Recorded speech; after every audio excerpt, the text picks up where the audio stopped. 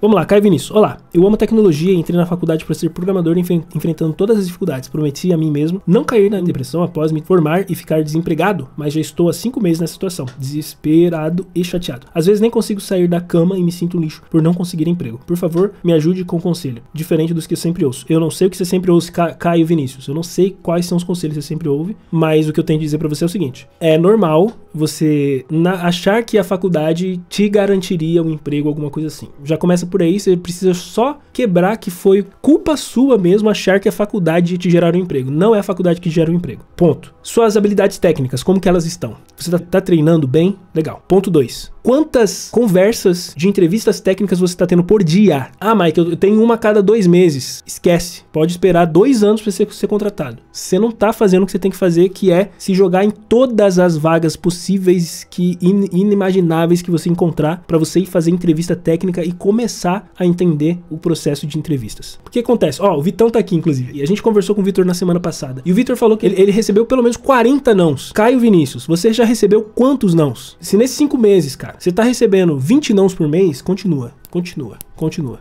Você tá indo bem. Porque uma hora vai encontrar. Agora, não pode esquecer do ponto 1, e aí tem o ponto 2. No ponto 2, você está desenvolvendo algo muito importante que é chamado de soft skills. Você vai precisar conversar com uma galera, você vai precisar fazer muita amizade, muito networking, entender como que faz o processo seletivo, você está desenvolvendo as soft skills. E procurando oportunidade. Vai chegar uma hora que vai dar um match. Vai chegar uma hora que você vai encontrar a empresa que quer você. Só que se no ponto 1, que a sua habilidade técnica não está boa, eu mandei 40 por dia até hoje não recebi nenhuma resposta. Isso é mais que triste. Então não é mandar currículo. Não é mandar currículo. Mandar currículo todo mundo manda, cara. É você abrir as portas de diversas maneiras. Lá na live ele fala sobre as maneiras que ele abriu, que por exemplo, ir no LinkedIn, ele ia procurava, essa vaga tá aberta, esse daqui é o recrutador, tô mandando mensagem pra ele agora. Se você tá mandando currículo, seu currículo vai se perder em qualquer lugar, cara, não importa. Todo mundo tá fazendo isso daí. Você não pode fazer o que todo mundo faz. Você tem que ir além do que todo mundo faz. Você tá entendendo? Ó, eu mandei 40 por dia e até hoje não recebi resposta. Cinco meses, Faz as contas aí, pessoal. E mostra pro Caio que talvez ele tá super valorizando o que ele tá fazendo, porque ele não deve estar tá fazendo o que ele tá falando. É, e ele tá super valorizando. Faz as contas aí. Quantos dias dá? Cinco meses. E coloca vezes 40 e fala para mim o número que vai dar aqui. para eu entender se ele, se ele mandou tudo isso de. Eu acho que não. E não importa. Não importa. Mas, Caio, o que você tem que entender é: não faz o que todo mundo só faz. Que é só pegar o currículo e mandar para a vaga que tá aberta. Você vai ter que dar um tapa nesse currículo, porque se esse currículo pode ser que você tenha mandado 100.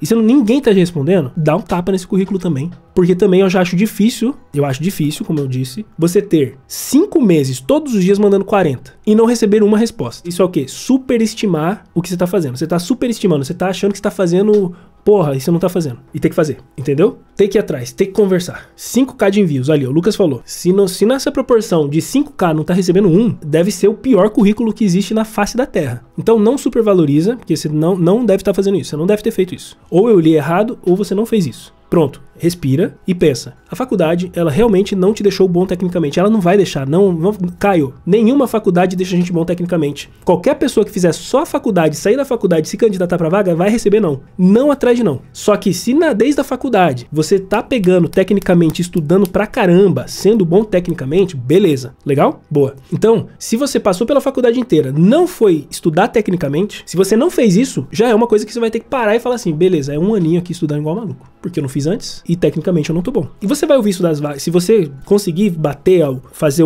a entrevista, a entrevista, a pessoa entrevistadora pode te falar ali, se você pedir, me dá um feedback agora do que, do que aconteceu aqui. Então o que que acontece, o Caio? Não é só com você, amigo, você tem que entender isso. Isso acontece com muita gente, a maioria. Eu fui um cara que fiquei frustrado porque eu achei que a faculdade ia me ensinar tecnicamente. Não é o papel. E tá tudo bem. Depois que eu entendi, eu não. Acabou, assim, a minha frustração acabou. Eu falei que a culpa é minha. a culpa é minha de achar que a faculdade era garantia de todas as coisas. Eu ouvi alguém falar isso e eu acreditei. Não era isso. Mas ela foi um bom mapa, tem, tem, o seu, tem o seu valor. Mas depois a gente tem que entender: eu tenho que ser bom tecnicamente, eu preciso conversar com as pessoas, eu preciso me jogar. Não é o deixar o currículo na empresa e falar assim, agora que Deus me abençoe. Não é isso, velho. Não é isso. Eu, eu sei que a faculdade não ensina tecnicamente, eu aprendi muito essa questão. Boa. Não é só deixar lá na mesinha lá e achar que alguém vai ter o bom coração de. Cara, imagina o tanto de coisa que a pessoa pega. Vou, vou, dar um exemplo. Vou supor que eu quero um, contratar um dev aqui. Eu quero contratar um dev aqui em Vue. Vocês podem chover de currículo aqui. Se o Namiso me chamar e falar assim, Mike, quero trabalhar com vocês, provavelmente eu vou parar tudo e vou conversar com o Namiso. O que, que o Namiso tem de diferente? Networking, velho. Networking, velho. Ele tá aqui, tá, tá se jogando, tá conversando, tá, ensin tá ensinando, tá criando, tá fazendo, tá aparecendo, tem um nome. Eu tô dando um exemplo hipotético para que vocês entendam o poder de um network. E mas Mike, de todos os outros que seguem você, que se eu, eu nem conheço, velho. As pessoas às vezes nem falam nada na live. E como que eu vou Não, mas ela tem um puta currículo. Pois é, mas tem alguém que eu já confio mais. Você tá entendendo? E foi criado aqui. E pode ser criado em qualquer lugar. Caião, aqui, qualquer outra comunidade. O Caio Vinícius, mano, ele é bom nisso aqui, velho. Ele é bom nisso aqui.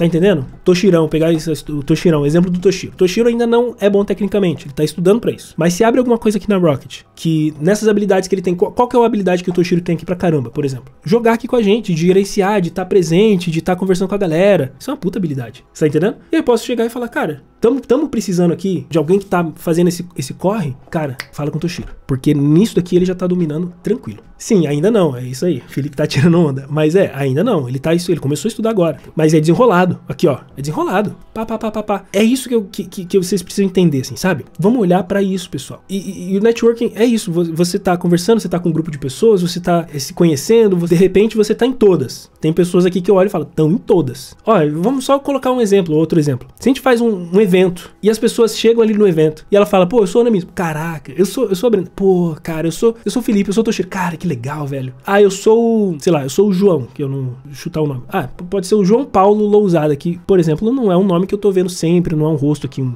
que eu tô vendo sempre aqui. Se ele chega e fala, tô sempre na sua live, mas nunca manda nenhuma mensagem, eu falo, puta, perdeu a oportunidade de a gente sentar aqui e conversar com horas. Porque se toda hora manda mensagem, toda hora, pô, a gente vai sentar ali, a gente vai bater um papão. Mas vai ficar ali, bacana. Acompanha lá, vamos, vamos que vamos. Vai ser diferente de, depois de um, de um after eu falar assim, mano, Toshiro, Felipe, Vitor, Brenda, o Namiso, afterzão aqui, ó. Nós. É diferente. Você tá entendendo como que vai criando níveis? São camadas que você vai criando? Não é nada forçado. Não, não precisa ser forçado. É, de maneira natural, se interesse. Você tá entendendo? Então, as coisas vão acontecendo, pessoal. Elas acontecem, elas, elas acontecem. O network acontece. São aos poucos você vai criando isso. Eu tive, eu tive sorte, a gente chama, eu chamo de sorte, um pouco de sorte, sabe? Eu tive sorte do Diego ler a minha mensagem e a gente ter criado bem rapidamente um relacionamento. Foi curto ali, foi rápido, na verdade, para eu ter a oportunidade de estar tá aqui. Elas vão acontecendo para aqueles que estão fazendo alguma coisa. Gente, se a gente não tá fazendo nada, se a gente não tá se jogando assim dessa forma, aparecendo, tal, como é que aqui depois a gente vai querer ser reconhecido, ser lembrado? É mais é mais complexo, sabe? É mais complexo. Quem não é visto não é lembrado. É verdade isso daí, né? Se inscreve no canal, dê o seu like. Te vejo no próximo.